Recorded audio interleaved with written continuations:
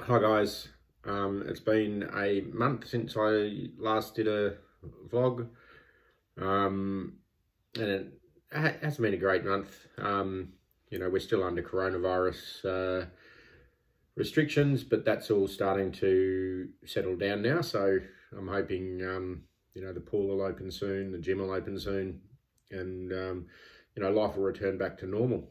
Um, for me, you know, the last the last few months has not been great, particularly with regard to my um, my goals for doing the Ironman. Um, you know, I I think I'd given it away, but hadn't given it away.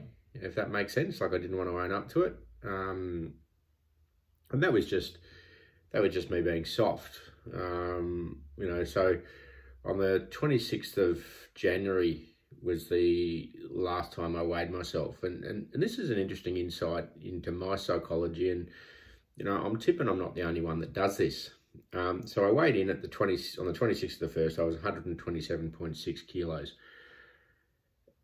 And I'd gone through a week where I'd put on a couple of kilos of eaten like shit. So then I tell myself, oh, it's, um, I'm obsessing about my weight. Weighing myself must be the issue and um, therefore if I stop weighing myself, you know, sometime somehow miraculously that's going to give me a better result. Um, that's bullshit. Let's just call it for what it is. Um, things weren't going like I wanted them to do.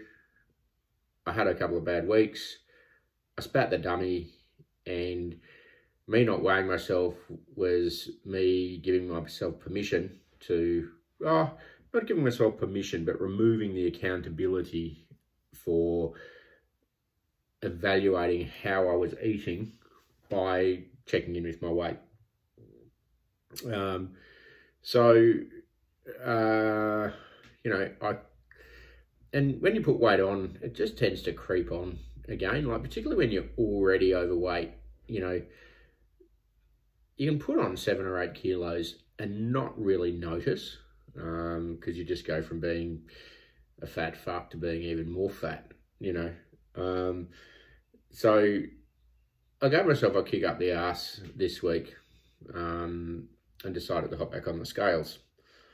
Um, so on Wednesday morning, um, I weighed in at 138.3 kilos, uh, which was a bit of surprise. I mean, I thought maybe I'd kick over 130 um, but, you know, 135, I could have accepted. 138. To put that into context, when I started this journey back in October last year, my first weigh in was 136.1 kilos. So I was over two kilos heavier for effectively seven months of effort, um, which isn't good. Um, you know, particularly given that I know what I need to do, I know how to eat properly. Um, and I've had excuses, you know, like, like to be honest, I reckon six or eight weeks ago, um, when coronavirus hit and I did my medial ligament, um, you know, I reckon I would have been around about 130 something kilo, 130 kilos. Um, but, uh, you know, um, I can't really use that. Well, I can use it as excuse. It's a, it's a reason that contributed, but you know, that's that's what has given way here is is my willpower and and sense of focus. Um, so today, um, when I weighed myself, I was 135.1, and that's what my weight tends to do. Is it you know like I can I can pack it on quickly. I can get a pretty quick result, but you know, since Wednesday, you know, I haven't eaten like a saint. Um, you know, I've just focused on a couple of key things, and for me, it's it's carbs, like sticking steer away from bread and flours, and you know, basically any carb dense food. Um, you know, just don't eat shit, don't eat sugar, um, and I tend to I tend to lose weight. You know, trying to stick a bit to the um, time restricted eating thing as well. So I guess what comes out of this is I know I need to be hyper vigilant that as soon as I start feeling that, oh, I'm obsessing over my weight, it's not good for me, um, I should stop weighing myself. Um, I've got to say, okay, what's really behind that? You know, what's happening? Okay, I'm going to keep weighing myself, but I'm going to, you know, have a cheat day or, or, or something else to relieve that perceived pressure that I'm putting on myself.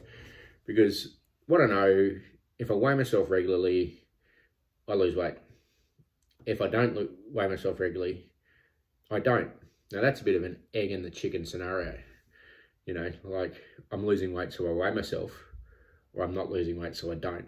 You know, which which one causes it? But it doesn't really matter. You know, it's like um, you know, the Peter Drucker quote. You know, you can't manage what you don't measure. Right.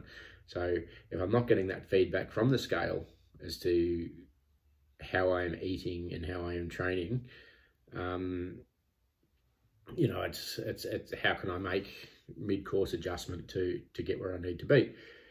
Um, so, you know, what now? I, I, I just need to, you know, check in again and reevaluate. Um, you know, I've started to get out and walk a bit more. You know, like I did 10k yesterday around my Mount Lofty walk, a fair bit slower than what I was doing it a couple of months ago. Knee got a bit sore, um, but you know, managing it. Um, got on the bike. Uh, was going to do 48, uh, 40 minute erg um, this morning.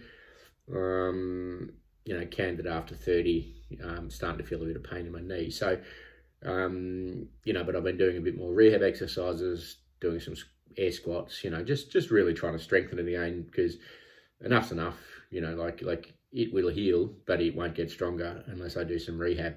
Um, so I'm on that. Um, so now, um, you know, I haven't given this away by any means. I've still got time.